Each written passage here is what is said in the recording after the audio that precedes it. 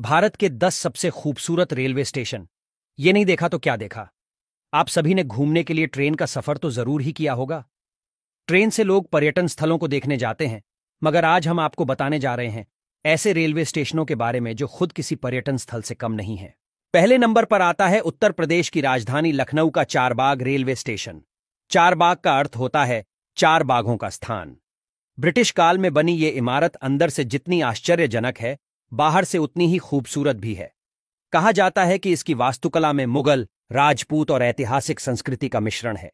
सैकड़ों सालों से आज भी ये इमारत अपनी सुंदरता से लोगों का मन मोह रही है। खूबसूरती के मामले में दूसरे नंबर पर आता है कानपुर का रेलवे स्टेशन। ये स्टेशन खूबसूरत होने के साथ साथ भारत के सबसे व्यस्ततम रेलवे स्टेशनों में शुमार किया जाता है। यह भारत के चार प्रमुख रेलवे स्टेशनों में से एक है। इस स्टेशन को सेंट्रल रेलवे स्टेशन का दर्जा प्राप्त है। इसका निर्माण साल 1928 में हुआ था। इस स्टेशन की डिज़ाइन भी लखनऊ स्टेशन की तर्ज पर बनाई गई थी। तीसरे नंबर पर आता है कोलकाता का हावड़ा रेलवे स्टेशन। यह स्टेशन भारत के सबसे पुराने रेलवे स्टेशनों में शामिल है। साल अठारह में इसका निर्माण अंग्रेज़ों ने किया था। हुगली नदी के किनारे बनाया गया ये रेलवे स्टेशन कोलकाता से हावड़ा पुल के माध्यम से जुड़ता है।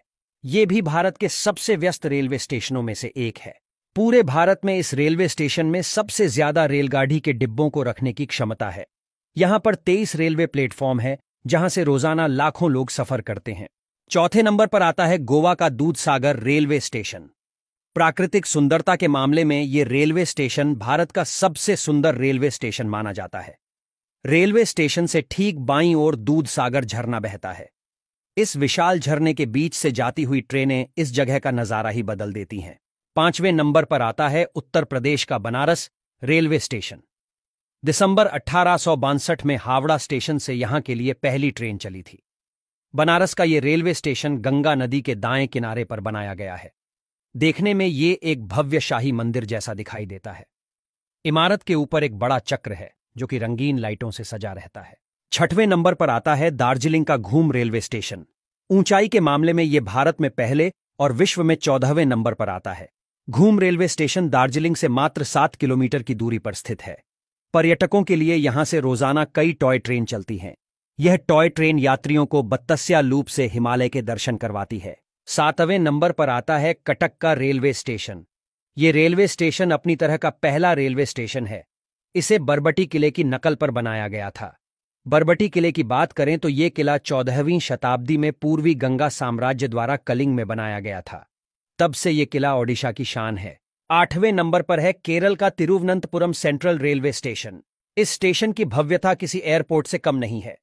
ये रेलवे स्टेशन साल 1931 में अंग्रेज़ी हुकूमत द्वारा बनाया गया था। इस इमारत को केरल की सबसे सुंदर इमारतों में शामिल किया जाता है। ये रेलवे स्टेशन भी चार सेंट्रल स्टेशन में से एक है। नवे नंबर पर आता है चेन्नई सेंट्रल रेलवे स्टेशन। इस रेलवे स्टेशन को दक्षिण भारत के द्वार के नाम से भी जाना जाता है। दक्षिण भारत से सफ़र करने वाले मुसाफिरों के लिए यह बहुत महत्वपूर्ण रेलवे स्टेशन है। ये रेलवे स्टेशन लगभग एक साल पुराना है। इसे हेनरी इरविन नाम के अंग्रेज़ ने बनवाया था। दसवें नंबर पर है कूनूर रेलवे स्टेशन।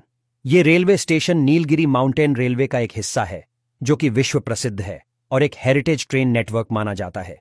इसकी प्राकृतिक सुंदरता हर किसी का मन मोह लेती है।